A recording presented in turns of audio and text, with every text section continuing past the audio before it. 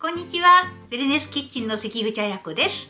今回は鉄分やカルシウムの効果的な食べ合わせについてです。鉄分やカルシウムって貧血予防や骨の健康にはなんとなく大切っていうことは分かっているかと思います実は気分の落ち込みやうつやる気や集中力などにも深く関わっている栄養素なんですこの動画では鉄やカルシウムのあまり知られていない働きについてまた効果的な食べ合わせについて簡単レシピとともにご紹介いたします。最近やる気ないな疲れやすいなという方必見です。是非最後までご覧になってください。今回は鉄分やカルシウムの多い野菜チンゲン菜を使います。小松菜も同様の野菜なので青菜はどちらでも大丈夫です。野菜に含まれる鉄分やカルシウムはタンパク質と一緒に摂ることで吸収が高まります。今回はタンパク質食材としてお豆腐を合わせます。お豆腐にもカルシウムや鉄分が含まれるんですけれども野菜に含まれるビタミン C があると吸収が良くなるのでこの2つの食材を食べ合わせるのはお互いの足りない部分を補い合えるので鉄分カルシウムだけではなく全ての栄養バランスも良くなる組み合わせです。今回はチンゲン菜とお豆腐特にタンパク質の多い焼き豆腐を使ってチンゲン菜豆腐を作っていきます。材料はチンゲン菜焼き豆腐。こちらは木綿豆腐などでも結構です。タンパク質が多いという意味では絹ごしよりも木綿がおすすめです。厚揚げを使っていただいても結構です。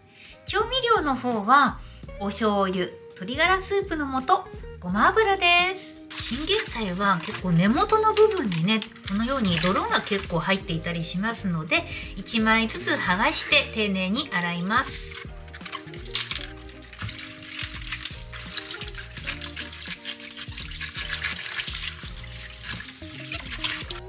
チンゲン菜をカットしていきます。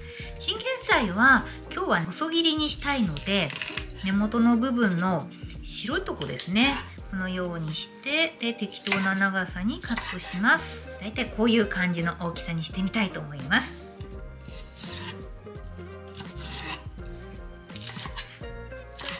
はい、そして葉の部分はざく切りです。フライパンを中火にかけます。少しね米油これ分量外ですね。入れてフライパンを熱します。はい、こちら焼き豆腐です。焼き豆腐っていうのはもう焼いてあるので結構ねぎゅっと水切りしなくてもそのまま使えるんですよ。なのでね今回はこのままもういきたいと思います。適当な大きさにちぎります。木綿豆腐だったらキッチンペーパー23枚に包んでで10分ぐらい置いておけばね自然に水が切れてきますのでちょっとそんな感じで使ってみてください。もう豆腐はね適当に崩しちゃって大丈夫です。お豆腐がしっかり温まってきました。そこにカットしたチンゲン菜を加えます。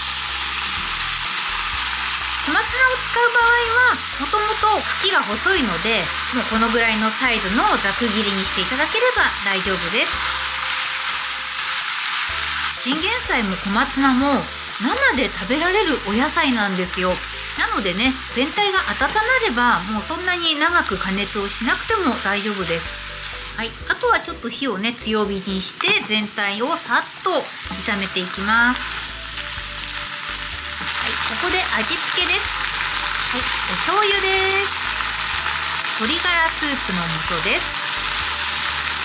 もう味付けこれだけなんですよ。もうすっごく簡単でシンプルですよね。はいそして仕上げにごま油で香り付けをします。もうこれでね美味しい中華の炒め物がね完成しちゃうんですよ。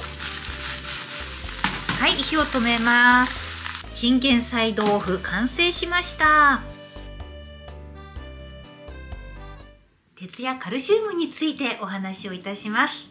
気分の落ち込みやうつなど心の健康と栄養素は密接に関係しています。鉄は心の安定や安心感を作るセロトニン。やる気のスイッチを入れるノルアドレナリン。快楽や多幸感を作るドーパミンなどの神経伝達物質を作る際に必要な酵素を助ける働きをしています。そのため鉄が不足するとこれらの物質が作られなくなってしまうわけです。またカルシウムは脳内の情報伝達の際に大量に消費されるのでカルシウムが不足すると集中力が落ちたり神経が過敏になったりします。鉄やカルシウムは血液や骨の健康だけではなく心の健康にも重要な働きがあります。チンゲン菜豆腐ちょっとお味をお伝えしたいと思います。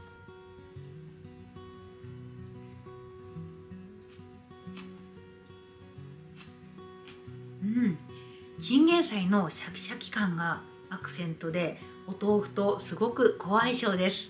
お醤油と鶏ガラスープごま油とねとってもシンプルな味付けなんですけれどもうん、これだけでもご飯のおかずになりそうなさっぱりなんですけどしっかり旨味も感じられる美味しい炒め物に仕上がっています。このチンゲン菜油もね一緒に食べることで緑黄色野菜に多い β カロテンの吸収もアップしますのでさらに栄養の吸収も良くなります。どちらも身近なお野菜ですので是非試してみてください。今回はちょっとした気分の落ち込みや疲れやすさそれもしかして鉄やカルシウム不足じゃない？ということで普段あまり知られていない鉄やカルシウムの働きについてそしてまた好相性である青菜とお豆腐の組み合わせで簡単な炒め物をご紹介いたしました。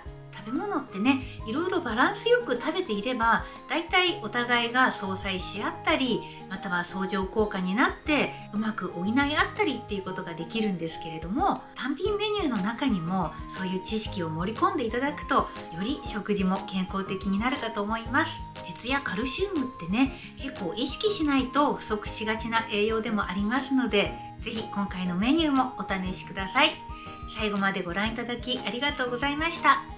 それではまた別の動画でお会いしましょう。